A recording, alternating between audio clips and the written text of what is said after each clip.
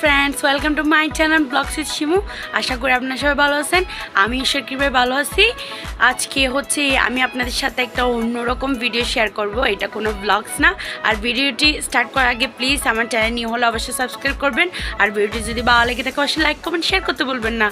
আর হচ্ছে আমি আজকে আপনাদের সাথে শেয়ার করব একটা রেসিপি যেটা হচ্ছে চাইনা গ্রাস মিল্ক হালুয়া, যেটা আমি ফার্স্ট বার বাসায় বানাবো। আর আসলে এটা রেসিপি বলতে আমি কীভাবে এটা বানাই সেটা আপনাদের সাথে শেয়ার করব। আবার আপনারা ভাববেন না যে আমি নিজেকে অনেক বড় আধুনিক মনে করতেছি রেসিপি শেয়ার করতেছি, এরকম কোনো বিষয় না।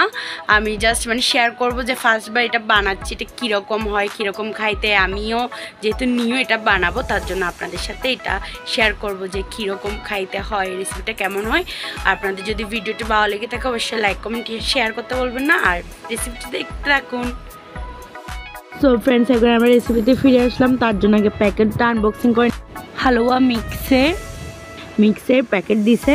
তার জন্য আর এখানে প্যাকেটে লিখে দিছে যে আধা লিটার দুধ জাল করে নিতে হবে। যেহেতু এটা আমরা ফার্স্ট টাইম বানাচ্ছি, তার জন্য প্যাকেটে যেরকম লিখা আছে সেভাবে আমরা বানাবো। তারপর হচ্ছে একটা বাটিতে ঠান্ডা পানি নিয়ে ওইখান মধ্যে এই পাতিলটা, দুধের পাতিলটা আমরা দিয়ে দিব যাতে এটা ঠান্ডা হয়ে যায়। আর চুলা থেকে নামিয়ে কিন্তু আপনারা হচ্ছে এই মিক্সারটা এখানে মিক্স করে দিবেন। দুধের মধ্যে খুব ভালো করে মিক্স হয়ে গেলে তারপর আপনারা আবার এটা গ্যাসের ওপর দিয়ে দিবেন। তারপর গ্যাসটা অন করে এটা কিছুক্ষণ বলক না আসা পর্যন্ত এটাকে আপনাদের জাল দিতে হবে। তো জাল দিয়ে দেওয়া হয়ে গেলে জাল দেওয়ার পর আপনাদের কিন্তু নাড়াইতে থাকতে হবে।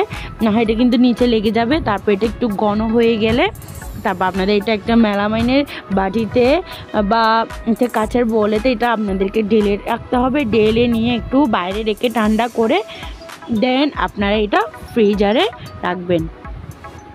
আর আমি আপনাদের একটা কথা বলতেছি। যে এটা বাইরে চুলা থেকে নামিয়ে আপনারা ফ্রিজে রাখতে যাবেন না, তাহলে কিন্তু এটা কিন্তু বসবে না সুন্দর করে। আর এটা হচ্ছে হালুয়া বাট এটা কেমন জানি রেসিপির পর এটা মানে হালুয়া কি বলব, এটা মানে পুডিংয়ের মতোই বসছে।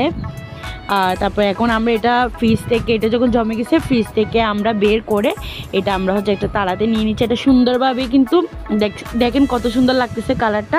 এটা কিন্তু সামনে সামনে আরও বেশি সুন্দর লাগতেছে আর যে কাটার সময় মানে অনেক মানে এটা আরাম আরাম লাগছিল আর কি, অনেক ভালো লাগছিল এটা। তারপরে আমি পরে টেস্ট করে আপনাদেরকে রিভিউ দিব যে এটা কেমন হয়েছে, না হয়েছে সেটা। এটা এখন আমাদের বানানো কমপ্লিট হয়ে গেছে। ফার্স্ট টাইম যেহেতু বানালাম আর এখন আমি বলতেছি যে টেস্টটা মোটামুটি আসছে। আমার মোটামুটি লেগেছে বাট আপনারা ট্রাই করতে পারেন, হয়তো আপনাদেরও ভালো লাগতে পারে। সো আজকে বেরিটা একটু বাই